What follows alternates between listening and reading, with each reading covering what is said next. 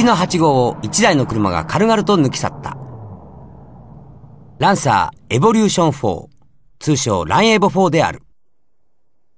秋名湖でランエボのドライバー、岩木誠二と須藤恭一に出くわす五木と匠。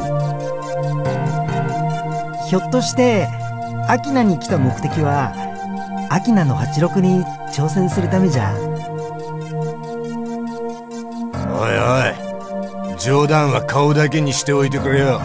レビンの少年。挑戦はねえだろ。もしあの86にあったら一言説教してやりたいかな。もっといい車に乗り換えろってさ。86なんかに乗ってるやつはアウト・オブ・眼中。頼まれたってバトルなんかしねえよ。悠々と帰っていく政治の態度に腹を立てる五木と対照的にあまり気にかけない匠。だが須藤恭一率いるランエブ軍団エンペラーは群馬エリアの走り屋を総なめにしていった。約束通りそっちのステッカーを1枚もらおうか。なんてことしやがる。てめえら。俺のエボ4のリアウィングを半分に切り裂いた群馬エリアのチームのステッカーで埋め尽くしてやるぜ。そしてついにアキナにまでエンペラーが侵攻してきた。最新の装備で武装されたランエボに86は勝機を見出せるのか。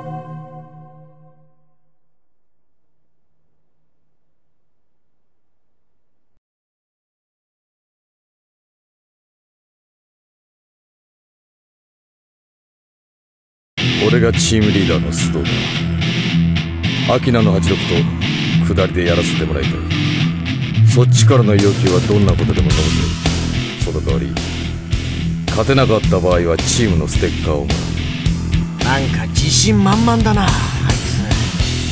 匠の実力を知った上であの余裕ってわけかよ。頼んだぜ。トップバッター。これはタイムトライアルじゃなくバトルだからな。エンジンのパワーが低い方が好きなタイミングでスタートできる。それが馬力のハンデってことつでも好きなタイミングでってな気を抜くな聖治。シミュレーション3でいけ本気か今日一86相手にシミュレーション3敵地でのバトルで勝つために今日一が作った作戦パターンは3つある。相手が最も手強い時にだけ使うのがシミュレーション3だなぜシミュレーション3なんだ？俺には分かんねえぜ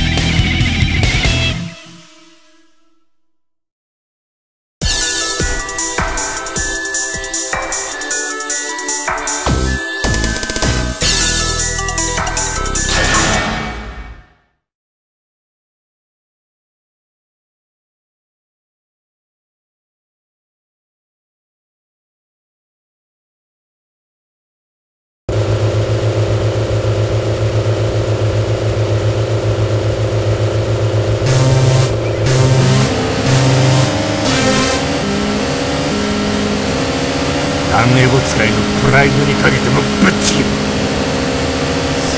なぜだ？解体や寸前のポンコツのくせしやがって。その速さは何だ？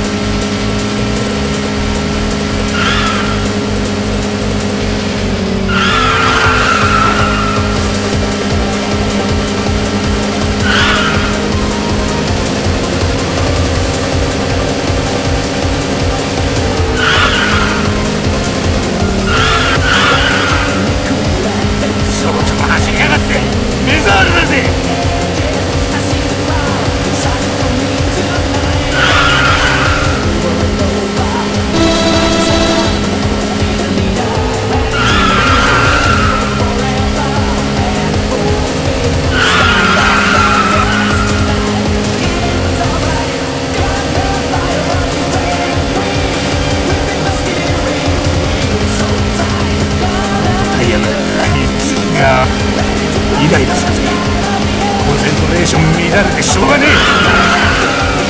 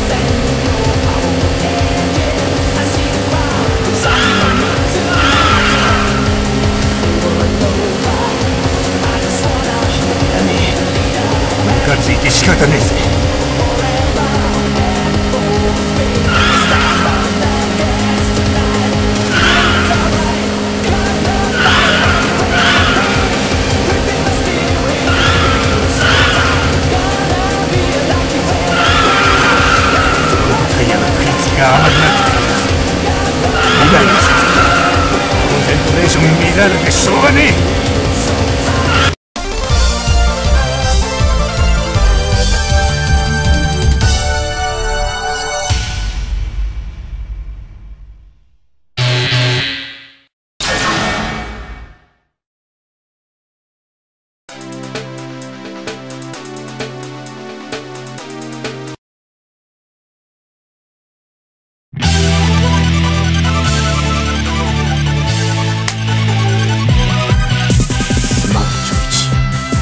トレートで遅い86がなんで食いついてくるんだ。